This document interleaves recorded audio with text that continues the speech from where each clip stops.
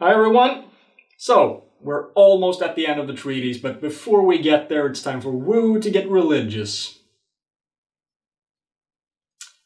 Enjoy! Argument 25. Spiritual experiences only exist in your mind, not an external reality.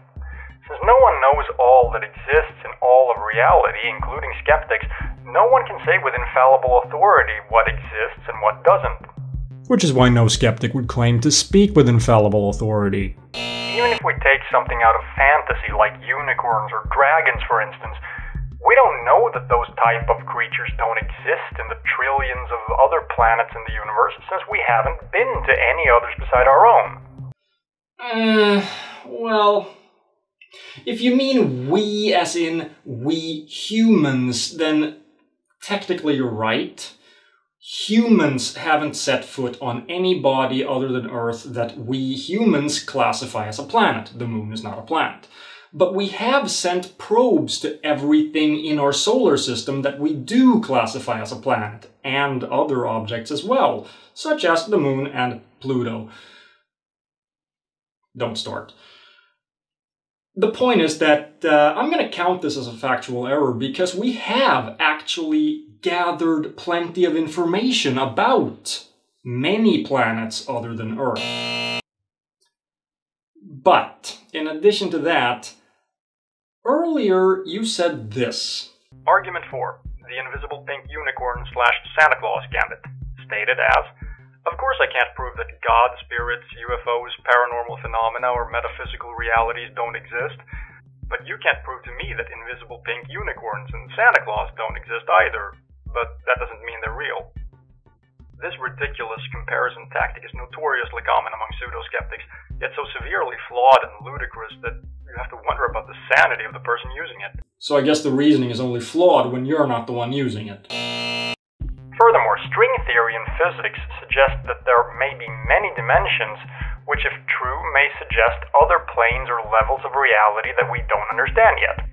Okay, with reservation for the wording used and the fact that you probably don't have anything close to a proper understanding of what any of that means, yeah, you could say that. However, as I've already explained, what may be shown to be true is irrelevant. There may be a genuine fire breathing dragon hiding in a cave just to the left of next Tuesday, but I won't believe that until I have a reason to.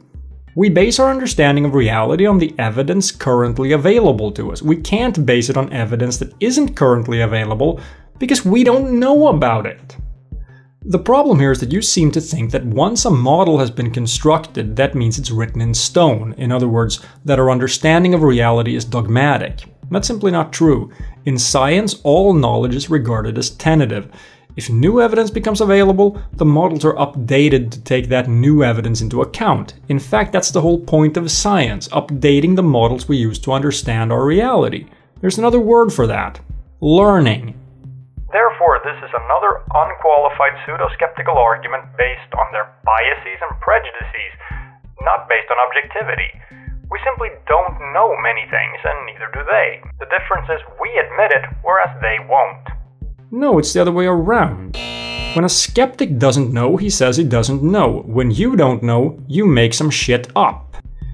You're the one making unfounded claims, as I have demonstrated repeatedly, and you have to misrepresent skeptics in order to make this statement, which I have also demonstrated repeatedly. Argument 26. Paranormal beliefs are childish fantasies for dealing with a cold, uncaring world. This is another biased statement of belief. Most psychic experiences don't come as fantasies or wishful thinking, but as first hand direct experiences. Once again, no, they come from the interpretation of experiences. You're conflating the event with the explanation of the event. Often the experiencer doesn't even choose to have them in the first place, as in the accounts of those who have sudden NDEs or OBEs. Relevance? Mature adults who are not childish in attitude or behavior have had paranormal or psychic experiences. There are also many rational, down to earth people, both mentally and physically, who believe in God. The fact that people can be rational and mature does not preclude them having specific topics where they set rationality and maturity aside. If you're following um, certain popular skeptics on YouTube, you can probably find some good examples of this yourself. I'll just not mention any names because I think that would cause, um, immature behavior. My point is, just because a person is otherwise rational and mature, it doesn't prove he always is. That's a non sequitur. In addition, even if a belief or religion is used to cope with life, that doesn't mean that the belief or religion is totally false. And who says otherwise? We are born with a natural belief in God and the spiritual and are more prone as children to believing in fantasies. That first part is false. We have no idea who or what God or the spiritual is when we're born. That's why there's more than one religion. We are born with an instinct to look for purpose and to favor explanations that involve intelligence and intentionality over ones that don't. That's because we observe reality from the perspective of a relatively intelligent being. It helps us understand the behavior of other relatively intelligent beings which is very useful because we also happen to be social animals.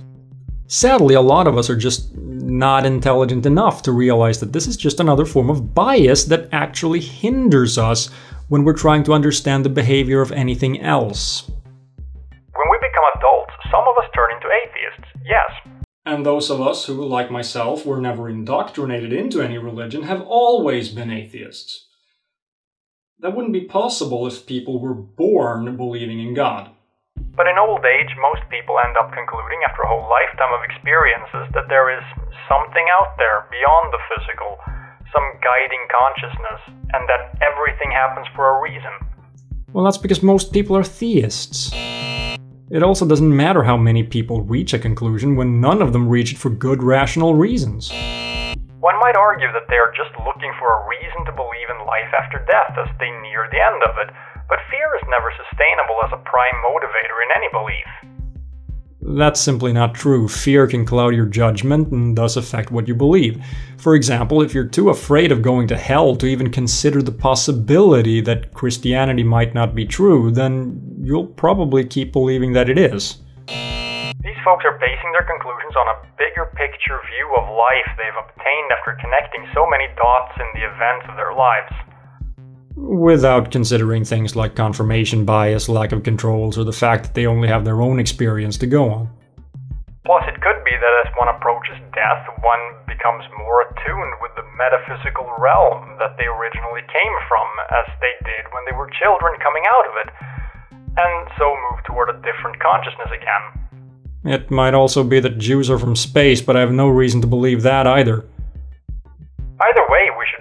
focusing on the experiences and evidence of these many people rather than trying to ridicule and judge them with biased accusatory terms which contribute nothing to the search for truth. Pointing out that someone is unjustified in holding a belief which is not supported by evidence is neither ridicule nor bias, and it does contribute to the search for truth. It's by criticizing ideas that we test which of them hold up and which of them don't.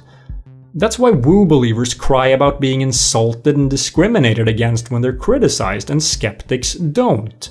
They welcome criticism because it helps them determine what's true. Argument 27 there is no evidence to support the existence of UFOs or aliens. See Argument 2.7. You may also find these testimonials at press conferences by high ranking government, military, and intelligence officials confessing their knowledge of government involvement in UFOs to be highly convincing. Sure, UFOs exist. That's not in question. There are definitely unidentified flying objects, the key word being unidentified. How many times must this be explained? Unidentified does not imply alien. Okay, I really don't see how that last one fits in, but whatever. Anywho, if you think we're done with the religious crap, you're in for a huge disappointment because guess what? Next time, Wu goes full creatard. What? Does that surprise you? See you then.